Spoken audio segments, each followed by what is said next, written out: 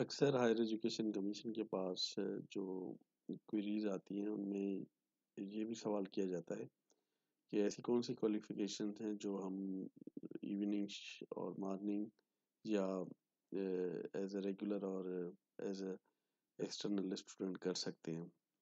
तो उस हवाले से एच ने क्वालिटी एश्योरेंस डिवीज़न के थ्रू एक पॉलिसी डेवलप की है, जो कि ये डिफरेंट जो कम्बिनेशंस हैं कौन सी क्वालिफ़िकेशन किसके साथ हो सकती है? वो यहाँ पर इस लेटर के थ्रू कम्युनिकेट की गई है। ये 2015 में पॉलिसी बनी थी और नेशनल क्वालिटी एश्योरेंस कमेटी के थ्रू ये अप्रूव हुई।